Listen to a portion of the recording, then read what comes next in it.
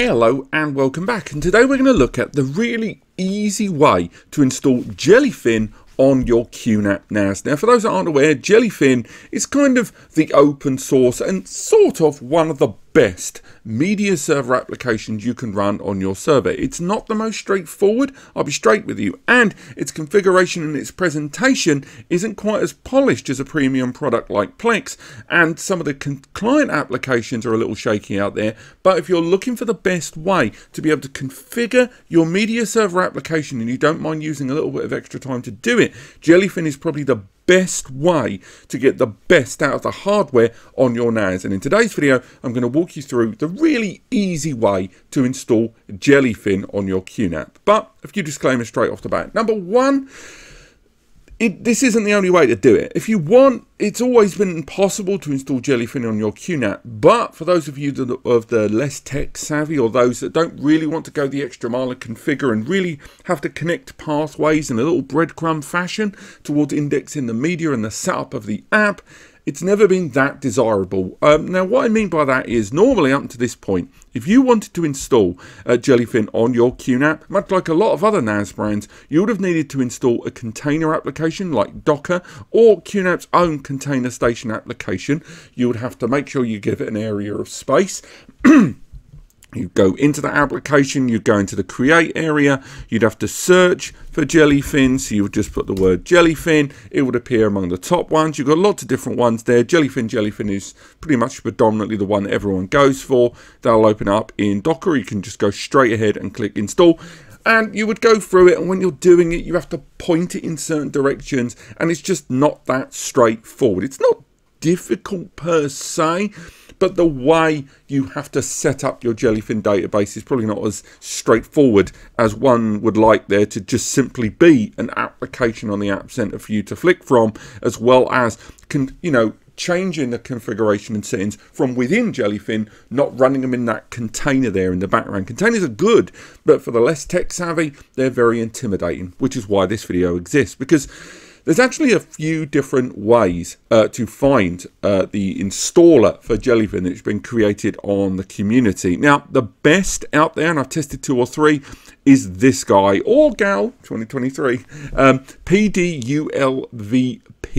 Now, this person has created a few different GitHub installers for the QNAP platform, but as you can see, by a country mile, his most popular one is his one for Jellyfin. You can also find this on QNAP Club. There are a few different installers for Jellyfin, but I've hit kind of medium and middling roadblocks while trying to do this. The same with the Emby installations there. And it's just overall, this guy's uh, GitHub installer is mwah. It is spot on and it has its own README attached to it with lots of information about compatibility, installation, transcoding and that. And I will obviously link to this in the description. But what you need to do for this is head over to this thing on the right, this area here, where this describes the latest release of uh, the application while it gets further and further updated. That lives over here and as you can see it's very important to bear in mind that this isn't just Jellyfin. This is Jellyfin and it also includes uh, FFmpeg. This is a really important kind of flow, compression and playback add-on that Jellyfin needs to uh, kind of present files and stream files to the best of their ability and that's contained within the installer which is super important. Now this uh, installer you're seeing here, um, as you can see the QPKG, uh, you go ahead and you click that button there. So click that and it will open up the downloader and then you'll start downloading this file. As you can see, I've already downloaded it there, hence the uh, bracketed one there. So that should allow you access to Jellyfin on your QNAP NAS. Bear in mind the hardware of your NAS is going to make a very, very big difference because you might be running a QNAP on like an ARM-based processor, and in those cases, double check uh, either the compatibility or availability in the QNAP store or go ahead and see if an ARM-based version of this has become available. Although I will say this doesn't run great without the necessary oomph hardware underneath it, hence all those configurations. So if you're using an ARM, like a Realtek or a Marvell powered QNAP, you're probably not going to have the best time there. Um, I will also add as well, if you go into the QNAP Club, there is add-ons for Jellyfin such as Jelly Amp here that allows you to use the HD station, the HDMI output, and use that great configuration that arrives with Jellyfin to play back your audio media on that visual settings of HD station. It's fantastic. It's all that broader degree of support. And for those of you running more complex audio um, files there, MP4As, um, you know, just the real heavy duty stuff, FLAC, that sort of thing, this can be very beneficial to you. But when you've downloaded uh, that file there in the background for Jellyfin, what you need to do is head into the App Center, and from within the App Center, firstly, click the little cog and make sure you've put this tick in this box here that allows the installation of third-party unsigned apps. What does that mean as I click apply? Well, what that means is you are installing apps that QNAP have not deigned to provide in their own app center. QNAP has got a first party and a trusted third party section, which means you've got apps from third parties, such as obviously Plex Media Server, for example, and TeamViewer. But then on top of that, you've got their own first party apps that they've developed, either on their own or with other parties into a single package. The apps we're talking about here from the likes of GitHub or QNAP Club are created by, you know, avid enthusiasts of NAS and, you know, coding and Linux and stuff like that. And they often modify um, applications that are available for popular third-party OSs into a version that runs as an installer on your QNAP there. But bear in mind, you're still talking about an app that the brand has not deigned to put on their own platform. That is to say, there may be security implications, there may be stability implications, and ultimately you may be undermining your system. So one, take uh, know the risks before you install a third-party app and two have your backups in corner local backup to usb cloud usb uh, cloud backup there. Make sure you get your backups in place before you go ahead installing third-party apps okay? So when you've uh, ticked that box to allow the third-party installations the next thing we need to do is click this icon up here with the plus symbol as this allows us to manually install applications from third parties there. So we click that button and then from there we click browse. Once we click browse it will go to our downloads folder and as you can see there is Jellyfin that we downloaded just now and then click open. For then click install. After you click install, it will ask, are you sure about this? And there should be another warning on screen regarding third-party installations. I'm not sure whether it will appear here. Oh, it does, because I've already done this already once before. But it will ask you to verify what you're doing and you understand the risks that I detailed earlier. After that, it will start installing this app. As you've downloaded it locally, it should be a very fast install. It's not downloading remotely from the internet. It's doing a local upload on a local area network. And this will upload Jellyfin, the installer, onto your QNAP NAS there, just like any other application. And when it's done, you'll have a new icon on your range of applications and services for you to start adding your multimedia to be indexed, as well as setting up your Jellyfin media server on your QNAP. As you can see, it's now completed.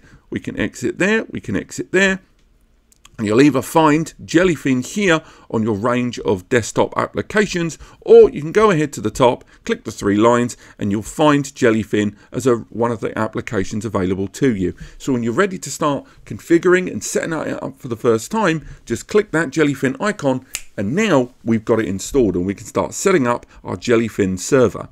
So click Next, give your server a name and again you can call it whatever you want. You can match your original uh, login for the system or come up with an alternate but this is going to be the doorway into your QNAP NAS within Jellyfin. And if you're running Jellyfin on smart TVs, on laptops, on phones, all those client devices you're going to be utilizing, do bear in mind that whatever login credentials you create for this, you're ultimately giving a doorway into your NAS. So it's very important that you make it different to your existing login, be it admin or otherwise, into the QNAP. Give this a completely separate, distinct access point there. Now, you might want to change the level of access you're giving Jellyfin. Once you're happy with the level of access that you're going to give Jellyfin with regards to either the account or the application again conducted from the QTS side, go ahead and create those login credentials for Jellyfin there.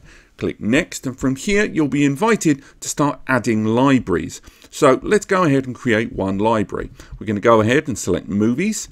We're then going to give it a name, we're just going to leave it at movies. Next, click the plus symbol to select the folder that you're going to uh, uh, ask Jellyfin to check for movies. So we're going to go ahead and go for where my uh, multimedia folder is here, but yours will be different.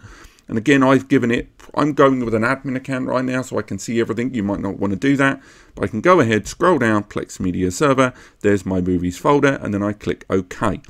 Next up, you can carry on and start dealing with metadata and how you want this to be presented. So ultimately, you can have it so how when the system start, starts looking for new data in there. Next up, the metadata downloaders. That's where Jellyfin, you know, crawls the internet to get your cover data, uh, your cast listings, descriptions, reviews, trailers, extra information, and more. Next up, you can look at retention of data on there. So again, you can choose whether you want to create an NFO, which is kind of a text document layout of all that data and information. You can even choose whether you want to save that information, that metadata you've scraped locally, as well as chapter extraction to break down the files for you, and it creates its own uh, database there per file of chapters as it scans. And that's it. I've created the movies folder. And you just need to repeat that now for each of your individual formats that you're going to be going for. So what I'm going to go ahead and do is skip ahead to adding a bunch of different files and folders and get them indexing and show you the last step so when you've added your libraries, you go ahead, click next, and then just, again, highlight just what kind of metadata language, uh, kind of default geo stuff you want to go for there. So I'm going to leave that at United States for now, just because I know a lot of you are watching in the US and that might reflect the metadata you see on screen, but let's see. Next up, the option to enable port mapping. Now this is effectively going to uh, allow the system to start opening ports up. If you don't know what you're doing, don't touch this. But if you're going to allow and need remote access to your Jellyfin server, you're going to have to go down this road. But make sure you know what you're doing when you're starting to map those ports. And if you start opening them up, whether it's utilizing QNAP's own internal services to allow that to happen via QNAP Cloud, or you're going to be using the Quick Connect uh, support that is inside uh, Jellyfin there overall. I'm going to leave that disabled, but that's something to bear in mind for your own personal setup. When you're done, click Finish, and now log in with the login credentials you created earlier.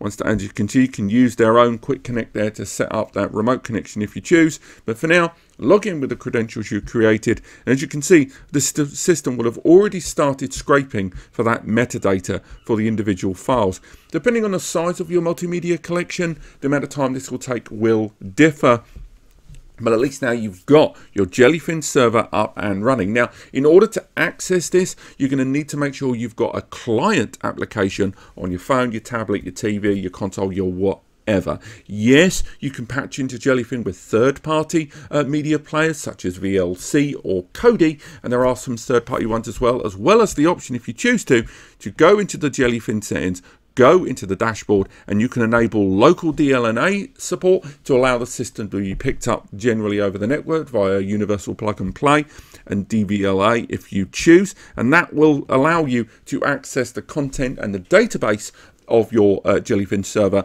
but without logging in with the Jellyfin client there. You can do it over the local area network using your standard media server support on your client devices there. And lastly, just on the subject of playback and the denser files, is to, we will need to just quickly touch on hardware acceleration or hardware transcoding or hardware conversions.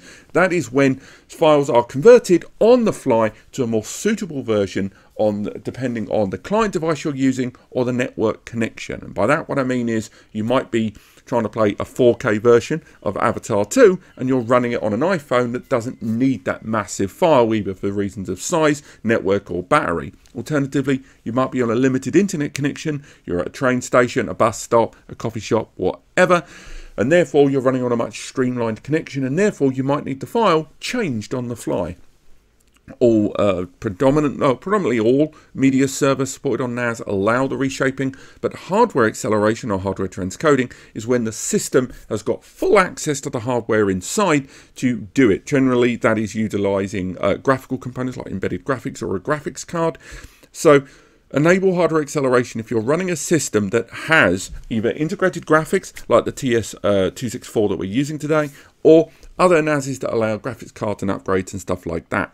So if you enable that, go for the drop down and you'll have to select the appropriate um, uh, agent there for your needs. Generally, you will find it's either Intel QuickSync or uh, VA API if you need direct access to the correct driver support on there, but it can differ depending on your system, less so in NAS. But you can go ahead and allow that as well as allowing encoding of HEVC formats, which is highly efficient video codec, which if you followed the channel before, are files that are using a much more modern um, compression technique um, rather than H.264, which is free, open source, everyone can use it effectively, not really open source, but it is. Whereas HEVC is a premium uh, in, uh, compression technique that makes you know cinema screen movies down to something teeny tiny. But again, it's premium because it was uh, developed by uh, production industry companies, and therefore it's kind of paid for. And some devices either don't support HEVC, don't have a license, uh, uh, a license option to add HEVC or do not allow client-side conversions of HEVC files to make them playable. And therefore, you'll have to enable HEVC encoding format on the client side, that's the NAS, in order to have those files changed on the fly to your own needs. But that's really it. Up from this point forward, it's like using any other media server application. You better pick it up, scroll it, browse it locally on your own system to your heart's content. Just know that the benefits over something like this, over Plex, is one, support of that new AV1 compression technique, but moreover, the hardware acceleration and hardware transcoding by another name there is free, with a lot of platforms like Emby and Plex Media Server forcing you to pay a subscription cost to have access to this, in that very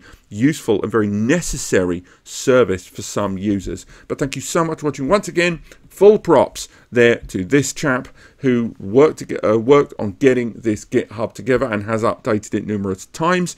And again, there'll be links to that and a guide over on NAS Compares in the description. But otherwise, thank you so much for watching. I hope you found this video helpful and I will see you next time.